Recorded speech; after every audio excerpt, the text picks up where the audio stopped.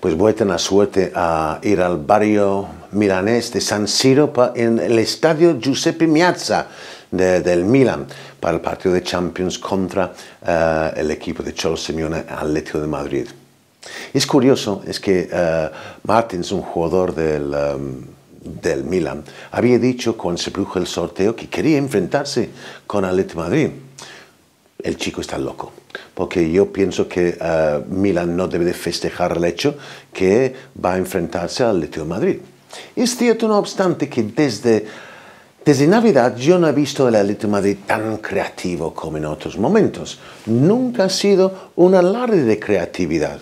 Yo he dicho aquí muchas veces que el Atlético Madrid es un equipo rocoso, intenso, muy bueno defensivamente y no exento de creatividad. No, no, es que no es exento de creatividad, pero tampoco es un derroche de creatividad. Y desde Navidades yo no he visto un equipo uh, rojo y blanco del todo expresivo. Hemos visto Diego Costa, pues no tan decisivo como en uh, otros momentos de, de, esta liga. Pero este partido es muy especial y pienso que la mayor virtud que tiene el equipo de Clarence Sedoff es que se llama el Milan y San Siro, el Giuseppe Miazza, es un coliseo que ha vivido muchas noches como estas. El estadio estará lleno a repletar, a rebosar y están haciendo mucho ruido.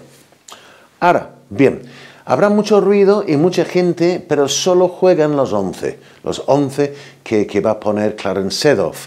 Y el 11 que va a poner Cholo Simeone para mí es mucho mejor que el equipo uh, milanés. ¿Por qué? Porque tiene un portero muy bueno y una zaga que no concede goles. Bueno, Milan no es un coladero precisamente, pero tampoco estamos ante uh, una, una, defensa que, que, es habitual en la historia del Milan.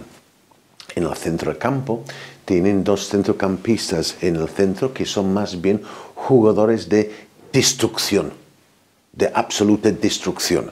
No es un equipo que yo diría que tiene muchas alegrías. Muchas veces se espera que Balotelli hace el loco positivamente para ellos uh, y en demás ocasiones hace el loco en uh, forma negativa.